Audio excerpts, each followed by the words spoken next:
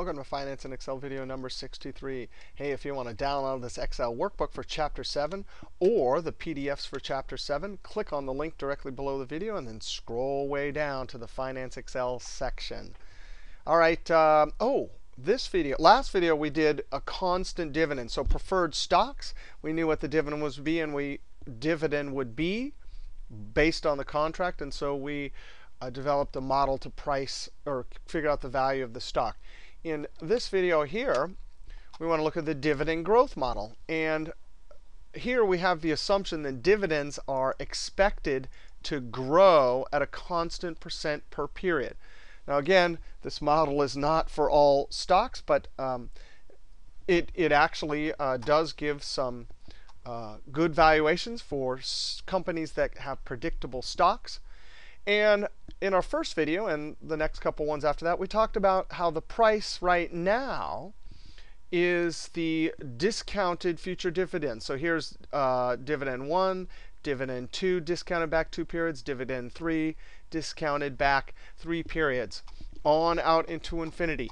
Now, if you do a little algebra on this, you get this, and actually you can uh, reduce it down to this. So what this formula says, and this will be our dividend growth model to value stock at time 0, it's the dividend just paid times 1 plus the assumed constant growth rate divided by rate, uh, discount rate minus the growth rate.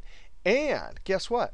This top part right here, the dividend right now times 1 plus the uh, growth rate, that gives us dividend one period out from now, right? So the model can be reduced down to this. So if you have dividend times 0, then you do this one. If you have dividend at time 1, then you use this one.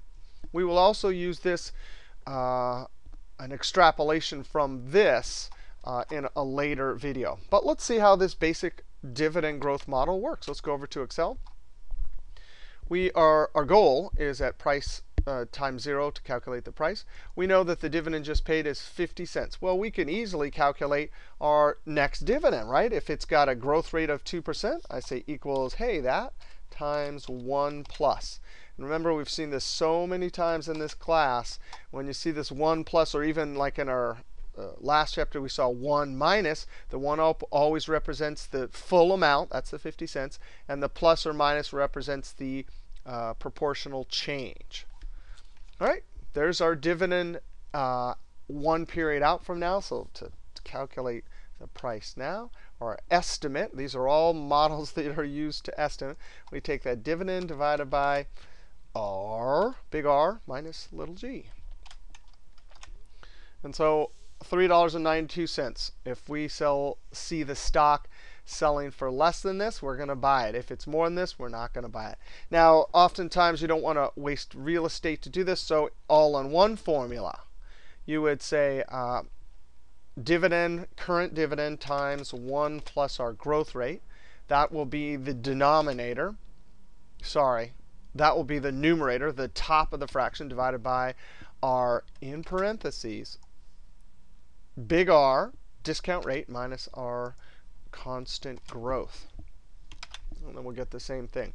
All right, let's go look at another example here. Now this example, oh, look, we're already given uh, the um, dividend at time 1. We know what the next dividend is going to be. So it's basically done for us. We take that. The hard part's done. We take that, divide it by r minus g now, what happens if r was bigger? This uh, there's a few assumptions here for this model to work. You know, you, you actually have to have a reliable growth rate, right? Uh, constant pattern of dividends being paid, and uh, r can't be bigger than your growth rate. And we'll see later how to deal with uh, that in some situations. But for this model here, uh, r has to be greater than this. If it wasn't, then this goes to infinity. So there it is. The stock should be $13.33.